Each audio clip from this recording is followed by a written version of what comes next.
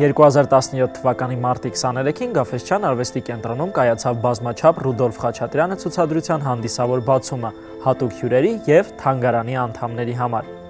Ցուցադրությունում, որ նվիրված է հայ մեծանուն արվեստագետի 80-ամյա Հոբելյանին, ընդգրկված են ստեղծագործություններ, ինչպես մասնավոր հավաքածուներից, այնպես էլ Հայաստանի ազգային պատկերասրահից եւ Երևանի ժամանակակից արվեստի թանգարանից։